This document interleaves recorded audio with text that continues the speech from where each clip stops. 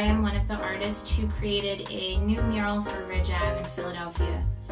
Um, one of the key things that I, I love to bring into my work is my love for textiles, and that came from looking at my grandmother's and great grandmother's quilts and textiles. Uh, both of them were, were seamstress, and, and I learned how to sew at a really early age, and I bring those types of um, cultural connections into the painting. Um, it's really the center of all of the designs and patterns that I'm utilizing or looking at. And for this piece particularly, I think it's really nice for me to have uh, an ability to bring in those roots. Um, Philadelphia actually is in my family base. Both both uh, both sides of my family lived in Philadelphia for a decent amount of time, um, and and it brings me joy to bring all of those things together through this kind of generational uh, sharing.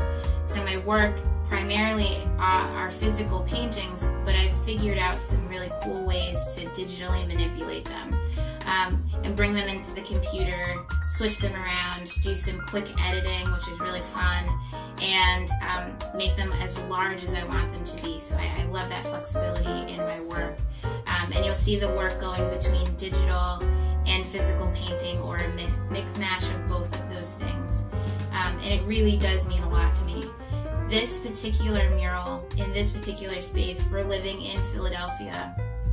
Um, for me, it means a lot that I'm making a mural that people who look like me are going to see on a regular basis.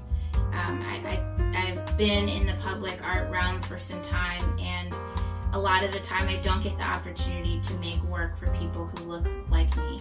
And I really do believe that um, we deserve public art and beauty and beautification in so many ways. And I, it's, a, it's an honor to participate in this project.